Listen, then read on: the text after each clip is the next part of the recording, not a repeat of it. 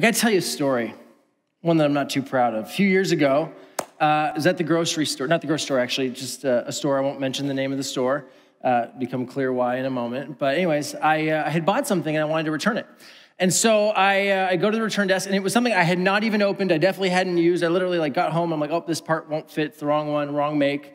And so I literally just put it in my car the next time I was in the neighborhood, went to drop it off. And uh, if you ever want to feel good about the cleanliness and, and, you know, or disorder of your home, maybe that's a better word. If you ever want to feel good about the disorder in your home, look behind the desk of the return bin, right? Like when you drop off returns, it's just like stuff piled and strewn. And as I showed up here, it was no different. In fact, there was a table even just out front, like they were out of room on the shelves for all the returns.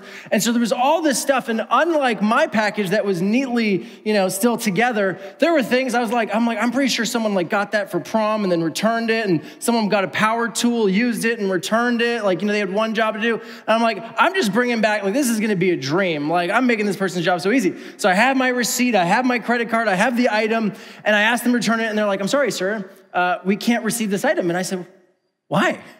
And they're like, well, it's a 30 day return policy. I'm like, yeah. They're like, this is day 31. What? But you'll take back the used prom dress? Like, are you kidding me?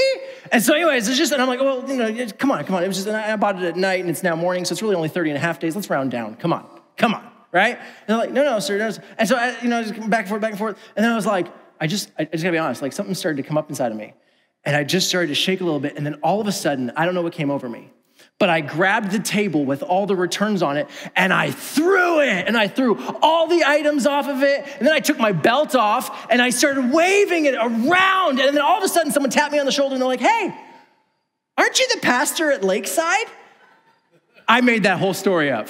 Just some of you, whoa! Some of you were like, I knew he was an axe murderer. And others of you are like, he always seemed so nice. What is going on? And then I'm probably on Monday gonna get an email from someone who are like, I heard what you did at the store and I just turned it off. I'm so appalled. And I'm like, no, no, I didn't. I, I made it up. But anyways, the interesting thing about today is today we encounter a Jesus who I think kind of did that, or it appears he did that.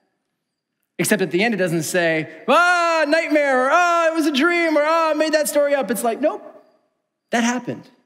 That happened, or something like that happened. And part of me, like, that just clashes with my idea of who Jesus is, which is loving and peaceful and kind. And all of a sudden, I see rage and anger and violence and destruction of property. And I'm trying to make sense. I'm trying to understand, but it's clashing with my idea of what Jesus as king is like.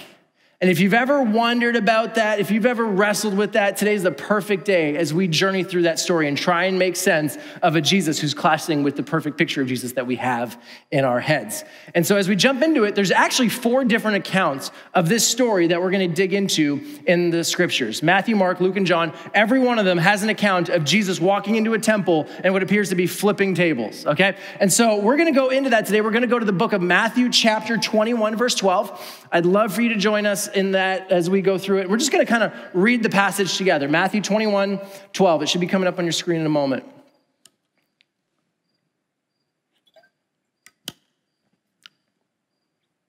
We'll just give you a minute to find it in your passage as we find the slides. There it is. Perfect. So, Matthew 21, Jesus entered the temple courts and he drove out all who were buying and selling there. He overturned the tables of the money changers and the benches of those selling doves. And then he said, It is written, he said to them, My house will be called a house of prayer, but you are making it a den of robbers. Now, historically, this story has been used to justify all kinds of different things. There are times when people have used this story, well, Jesus flipped some tables to justify their tempers, their rage, their violence, riots, destruction of property. And today we're gonna jump into this story. If you're not a church person, you're not a Christian, you're like, oh, dang, like I didn't expect this. Like I've always heard great things about Jesus. My friend invited me. They told me you're going to be blown away by this person, Jesus. We're going through this series. We're just looking at Jesus. You're going to love Jesus. Everybody loves Jesus. And it's like, so what's happening in this story where Jesus, you know, a lot of times has been seen as having a temper tantrum? What's going on? Well, let me give you some context. That's important to understand what exactly he's walked into because last I checked, most of us haven't been to a temple before or in recent history. So the first thing is there was the temple, which was in Jerusalem, and devout Jews would come every year, sometimes twice a year, to offer sacrifices. And they would travel a long way, and they would actually not be able, in the same way that when you have money and you go on a trip, you have to exchange your money for what's valuable in that country. So they needed to have the temple shekel. They couldn't use their other currency. So when they showed up, they already had a problem because they wanted to sacrifice animals, but they didn't want to bring the animals with them on a journey. Some of you were like, bringing my children and my pet is enough. Imagine having a goat in the back seat, right? It's like, it's a lot to bring along with you. And so, like, all of a sudden, they're there to make their sacrifices. It's what pious Jews did. It was a way of, of uh, part of their worship.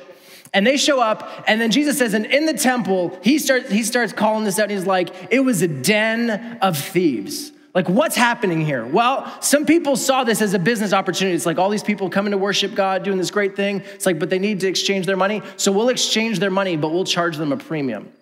So we we are going to take some money off the top. And then the second stage of the exploitation was then our friends down the line, they're selling animals and they're hiking up the price too. So not only did you not get enough money back for your currency exchange, but now you're paying with the little money that you have more than those animals were worth. It's kind of like trying to get a hot dog at the Rogers Center, right? It's like, what? $12, right? It's like that, except in the religious sphere.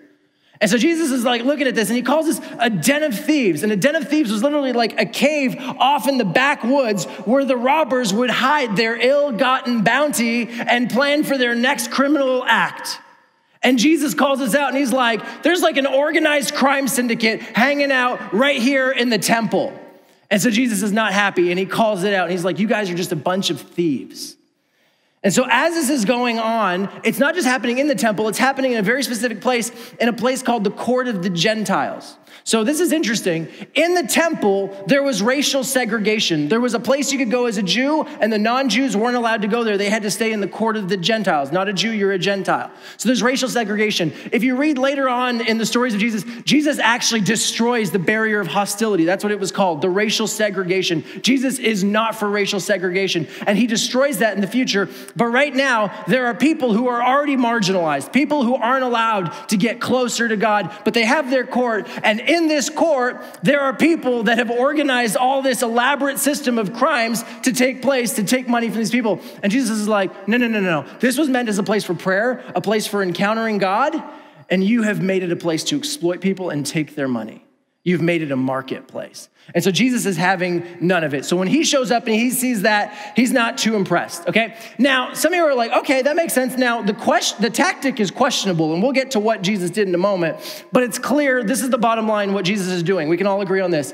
He's going after exploitive business practices and making it difficult for people to encounter God. Jesus is going after business practices that exploit the marginalized and people who make it difficult to encounter God. Okay, now before we get into the application of what's going on here, can we just talk about some of the bad application that sometimes happens with this text? Because sometimes it's more important to go after the bad application than the good application. Okay, many times this text, as I said earlier, has been used to justify rage, verbal abuse, violence, rioting, destruction of property in Jesus' name right? We've all been on Facebook and we've all seen someone say something, they like verbally abuse someone in Jesus' name, and then they kind of give this apology or what I call a non apology, which is like, sorry for my tone, but you know, sometimes Jesus flips some tables too. And it's like, hmm. Now, I'm gonna say that's bad application. I'm gonna say that doesn't fit the story, that fits Hollywood and ancient art. Because when you look in history, in fact, all you need to do is Google it, and you can find ancient art of Jesus with a whip and people like terrified and getting hit. And all of it's like Jesus is raging mad. Hollywood, Warner Brothers made a movie, the Jesus film. Many of you have seen it. Wonderful film. But I gotta say, I think they got this scene wrong, okay? This scene, I call this scene Kung Fu Jesus, okay? It's literally like Jesus shows up, peaceful Jesus, shows up at the temple, and then all of a sudden it's like zeroed in on his eyes, and then all of a sudden it's like showing like the people selling and buying and exploiting and all this stuff, and it's like doof, doof, doof, and just zooms in, zooms in, zooms in, and there's a gong. I'm like, what's a gong doing in ancient Rome, right? And then he goes all like crouching tiger, hidden dragon, and he just loses it, right? And he's like, ah! It's just like explosive Jesus. He's like, he has a whip in his hand and he's kicking things over and flipping things and destroying property and scaring people, and everyone's terrified. And that's how it goes. And I'm like, that's interesting because when you read all four accounts, you don't find that, not even a hint of that. You will not find one place in any of the accounts where Jesus yells, where he raises his voice, where he lays a hand on anyone, You will not find any point where he is out of control. You will not even find impulse. In fact, in the book of John, it says when he saw this, he braided a cord, a whip. He actually took time to get ready for what he was about to do. And before you're like, and he had a whip, it's like, and what did he do with the whip? Well, we'll get to that in a second, but he didn't hit anybody with it. It was calculated. Jesus did not violate his values for peace, love, charity, and nonviolence. Bottom line, you will not find rage, yelling, or violence in this story if you read it from Scripture. Hollywood and ancient art, maybe. Second thing, Well, what about rioting and destruction of property? I don't know if you've uh, seen the memes lately, especially with what's going on in the world, which simply have this tongue in cheek statement that says, Who said destruction of property wasn't the Jesus way? Now, before I speak to that and before I tackle that, I want to be really clear on some things. This has come to our attention recently in all that's been going on in the world with Black Lives Matter protests, and it's not the first time where this question has come up or statements like this have been made. In fact, all throughout history, this event has been used to justify violence, destruction of property, um, protests that take on that sort of form, and all, all types of things. And so let's just let's just be clear, okay? In the last few months, we have seen more speak, speaking out and more protests than any other time in history that were all united on one front, which was racism. We've seen that. At the same time, paralleled to that, we have also in the news watched riots destruction of property, vandalism, looting, and violence. Now, some people, when they saw this happen, they ignored everything. They painted it with a broad brush stroke and you just kind of brush it off like, ah, all of it, it's just all political. It's all just, it's criminal. It's just a distraction to keep us away from what's really going on. They just wrote, you just wrote off the whole thing, one big broad brush stroke. I need to say this to you today. Broad brush strokes are for lazy Jesus followers. Broad brush strokes are for lazy Jesus followers. Jesus had the ability. He did not just write things off and movements off. He stepped into situations and had the ability to call out the evil and the beauty at the same time. He didn't use broad brushstrokes. He got into the mess. He got into the gray of life. I think of the story that Robin's going to teach us next week of the woman caught in adultery. He doesn't just wipe that whole thing off. Well, you're all kind of screwed up, so all you're just go ahead, do what you're going to do. Right? No, no, no. What does Jesus do? He steps into the situation. He calls out the religious leaders who have pulled this woman out of a, an adulterous relationship, and they're like, How dare you, you hypocrites, is basically what he says. How dare you?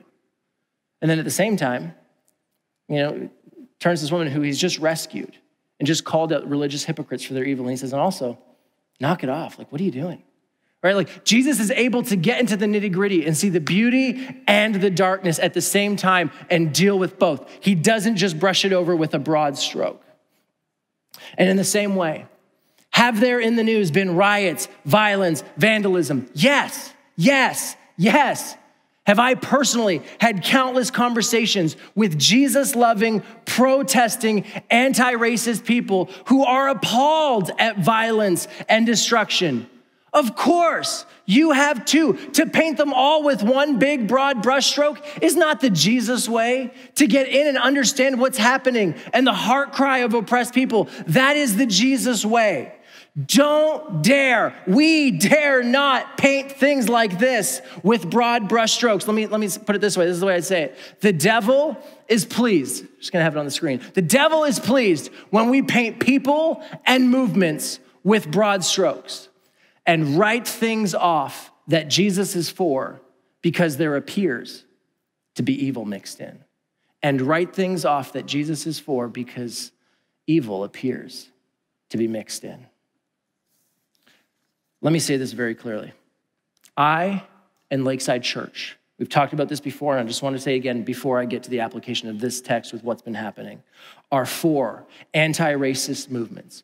We are for protesting. And some of you are like, oh, Jesus people, should we really be for protesting? Shouldn't we just be peaceful and quiet? Just, just to be clear, if you're a Jesus person who's uncomfortable with the idea of speaking out when you see something that's wrong, that's literally what protesting is, you're not okay with your own Christian history. Because 500 years ago, the reformers saw horrible things happening in the church and they protested. And we literally, we follow them. We still look back on history and think that was a good thing. It's literally in our name. We're called Protestants. What's the base root of Protestants? Protest. It is part of our ethos and DNA. If we are okay what happened in history and look down on anyone else who speaks out when they see injustices, that is the height of religious hypocrisy. So, we are for anti racist movements. We are for protesting. But, now let me make this clear. Let me land this. If you're looking for Jesus to justify destruction of property, looting, and violence, you will not find it here. And this is not the text. Jesus does none of those things in this story. First of all, we have this image from Hollywood of Jesus throwing tables and smashing things. You don't find it in the story. In fact, it says he turned over the tables. Didn't flip them, didn't throw them, he turned over the tables. Jesus also didn't take the money. He didn't rob them, he didn't loot them, he didn't take the money. It was easily picked up after. He didn't harm any people or animals. And it says, if you read the story carefully, the whip was used for the sheep and goats. That's what he was using because that's how you got them out. That's how you got crowds of animals to start moving was with a tool.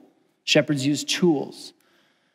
And by the way, they were easily round back up after. The animals were just out and they could easily be round back up. And then here's a little nerdy bit just to kind of see Jesus' posture. If you go to the book of John, when that account of the story happens, can I just read it for you? Because there's something here that I never noticed. It's so cool. John chapter 2, verse 15. So he made a whip out of cords and drove all from the temple courts, both sheep and cattle, wasn't whipping people. And look at this. He scattered the coins of the money changers and overturned their tables. He overturned their tables. Nobody says he threw them. And then to those who sold doves, okay, we have this picture from Hollywood of Jesus rich, reaching into the, the, the, the, cages and kind of throwing these doves. And it's almost like Jesus is like, ha ha, good luck finding them. They're gone for good. Jesus freeing the birds. Now, look what Jesus says to the people with the doves get these out of here. The one animal that had the ability to fly away and never come back, and those owners would lose their business. Jesus respects that, and he's like, You guys take these away. He doesn't rip the cages open and start throwing birds everywhere. He respects them. He respects the people, he respects their bodies, he respects their possessions, even while taking decisive action. And that's what I want us to understand from this, this picture. Jesus is taking decisive action.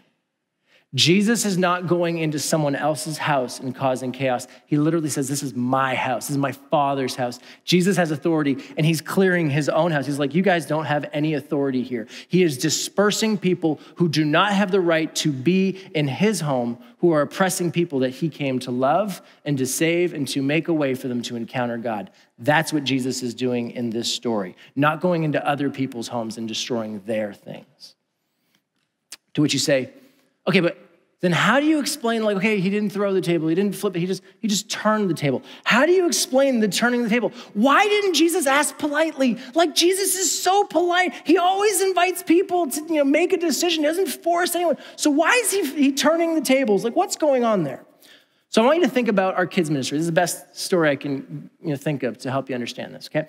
Um, we love kids at Lakeside. It grieves us that we don't have our kids here every single week in this season, but we understand it, okay? But we love kids. And normally, when we have kids program, we have amazing kids volunteers. And because we love kids, our kids director, Kim Wheeler, is very cautious about who she lets work with kids, right? Like you don't just check a box and you're in, okay? Like there are forms to fill out, there are police applications, like reference checks. Like we do as much as we can to make make sure our children are safe.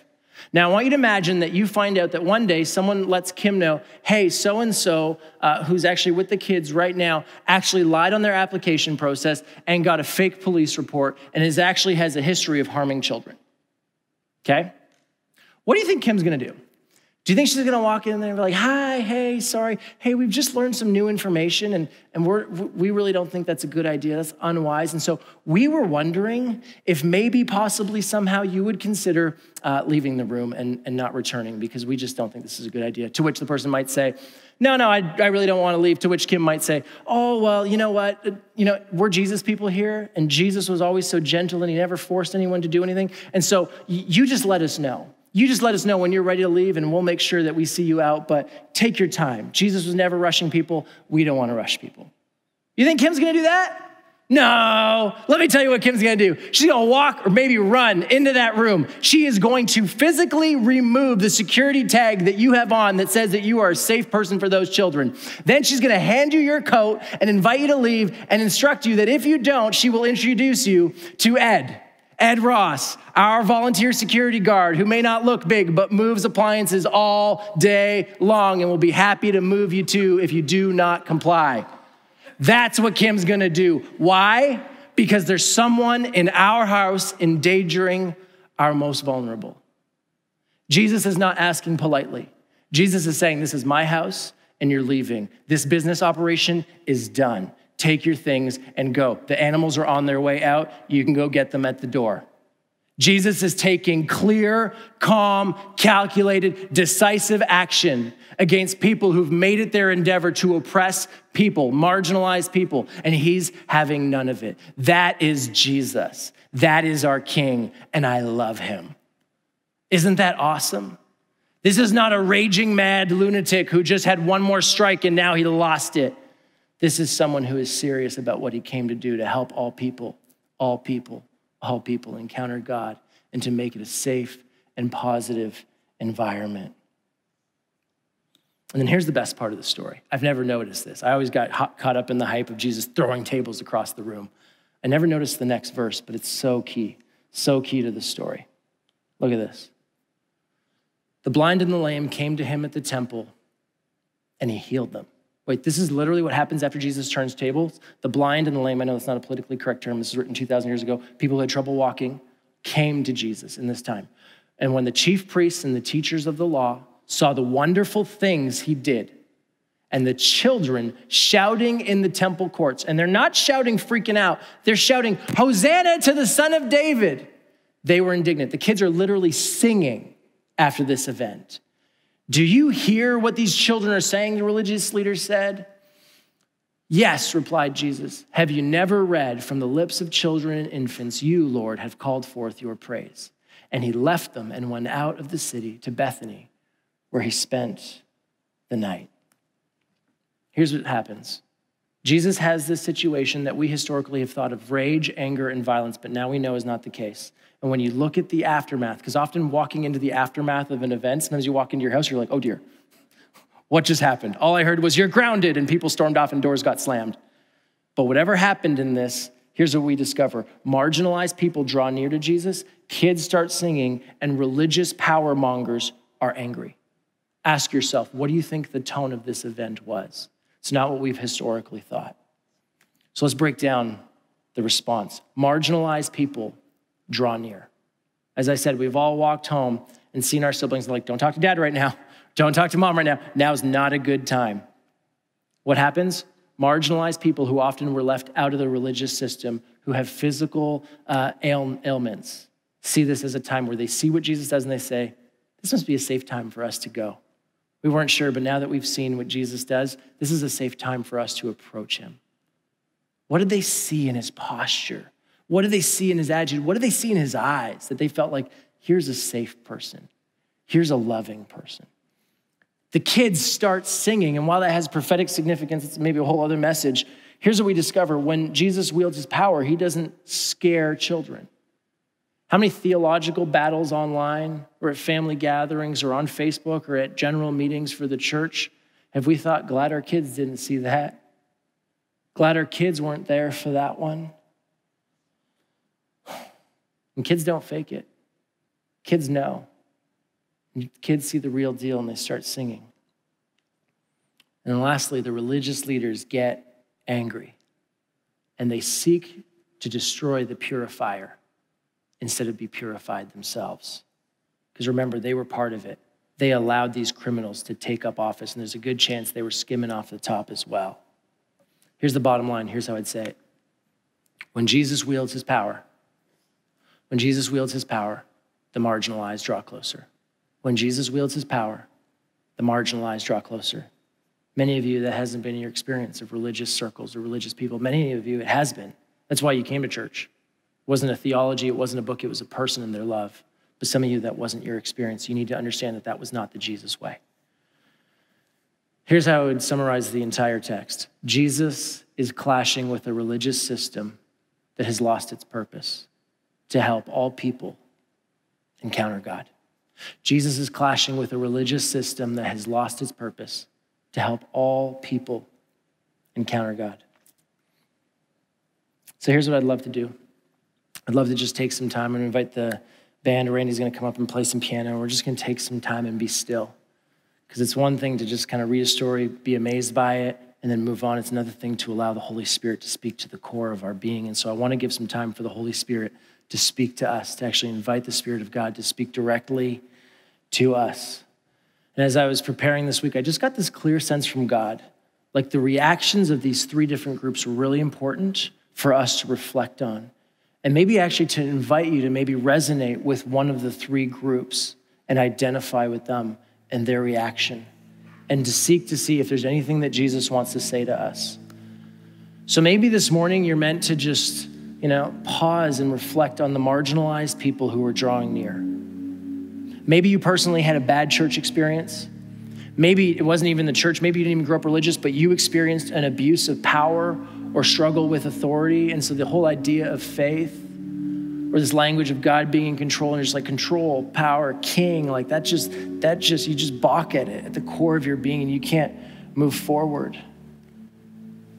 You just maybe even felt like an outcast. You didn't even know your place. And yet you read the story and realize that people in similar situations who had been marginalized their entire lives felt like Jesus was a safe person to move towards. And maybe you just need to sit with that. Maybe the one you identify today is childlike discovery. And you're thinking, I'm, I'm not a child, I'm not close to child age, but maybe, maybe the Spirit of God is inviting you to just discover Jesus with that childlike innocence, to discover what he's really like. Those kids didn't watch the Jesus film, they didn't look at old art. They saw Jesus in the flesh, and when they saw the real Jesus, they sang. Maybe this is an invitation for you to begin exploring to begin shedding some of the images that you got from popular culture or media or other people, but not the historical Jesus. And so maybe, maybe you just want to start reading the life story of Jesus. Maybe you want to read it with a highlighter and just highlight the parts that, you know, stand out to you. Highlight the parts that overwhelm you.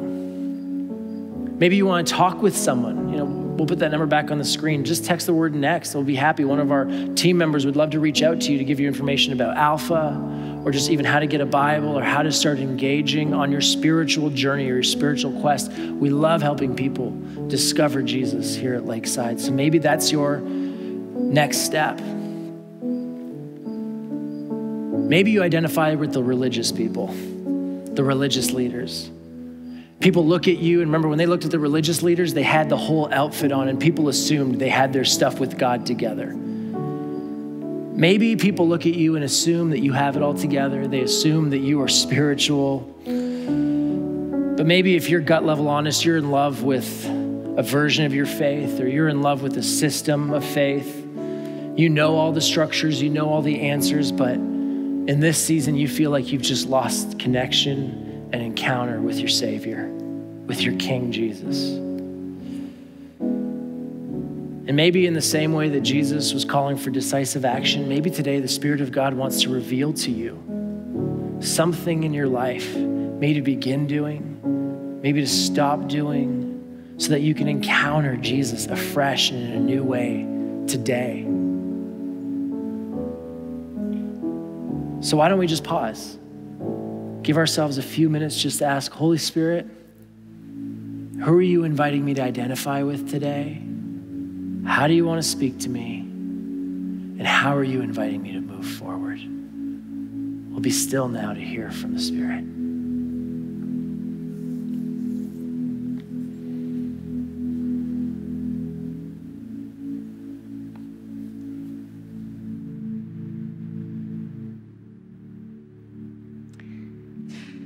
As I was reflecting on this passage, knowing we would be celebrating the Lord's table today, found it beautifully ironic that we would be doing this on the day that we're reflecting on Jesus' cleansing of the temple. The day when Jesus flipped those tables of extortion, flipped those tables of religious oppression, flipped those tables that had become obstacles to people encountering God. And here Jesus sets a table and by contrast, it's a table of invitation. At times throughout history, we have often made this table an obstacle to people coming to God. But Jesus set this table 2,000 years ago. And he said, Those who are hungry, come to me. I'm the bread of life. If you're thirsty, come to me, and I will give you streams of living water, and you will never thirst again. Are you weary? Come to me, and I will give you rest. And here at this table, Jesus has set a table of encounter. And so I just invite you, if you're at home, to gather those things the cookies, the bread, the crackers, the juice, if you haven't already done so. And for those of you here in the room, you would have received one of these that looked like a, a Keurig cup when you walked in. Uh, this is our COVID safe communion. Make no mistake, regardless, Jesus is present here at this table. This table is a place where heaven touches earth, and we get to be recipients of that. So, as we eat and we drink these simple elements, we declare Jesus' victory over death. And we affirm our allegiance to Jesus as Lord and King which in our culture is so countercultural, isn't it? We are captains of our own ships, thank you very much, masters of our own destiny. As Jesus followers, we are called to have Jesus as our King. And as we come to this table, we celebrate our place at this table. And you know what? There's room at this table. There's still many, many, many who need to be here today. And so as we celebrate communion this morning, we, we do so for the world, for others who are not yet at this table. There's a, a, light film, if you're here in the room and you have one of these, there's a very thin film that I invite you to peel off. And under that film is your wafer.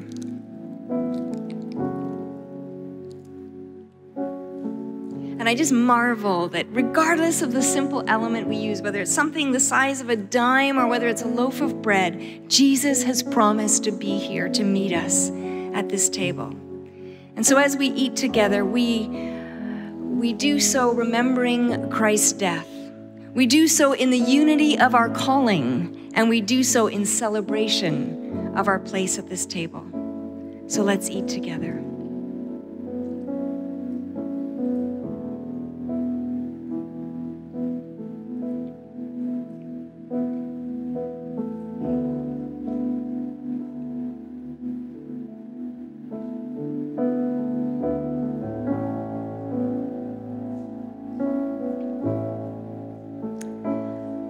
To remove the second layer.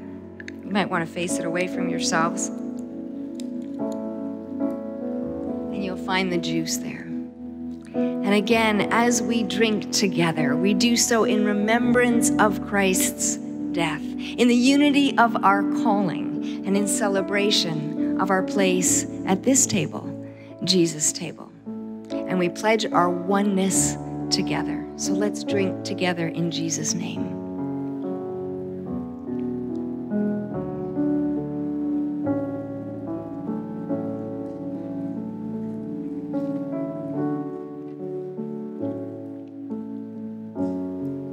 Jesus, we thank you that you have stooped to meet us at this table with these very simple elements, regardless of what we have before us. You have chosen to meet us here. You set this table 2,000 years ago and you said, Come. Come if you're hungry. Come if you're thirsty. Come if you're weary. And so today we come. And we wait in expectancy for what you're going to do in us and through us and we thank you. Thank you for meeting us at this table. And Jesus, we pray that the next time we meet, there will be more at this table. That even now you are calling those friends of ours, those family members, those neighbors who just need an encounter with you. Thank you for your presence here with us today. In your mighty name. Amen. If you would like prayer today, I'll be there at the cross if you'd like to come and we will physically distance with our masks, and I'd be happy to pray for you. There is a garbage at the back that you can drop these into uh, on your way out. And just before you go, I just want to bless you uh, as you leave. So may the Lord bless you and keep you and make his face shine on you. As you go forth this week, would you have courage to face those tables in your life that need flipping and invite Jesus to come and flip those tables? Might you have the confidence in knowing that Jesus is present in the midst of your fire. And so go in peace, friends. Go in peace until we meet again.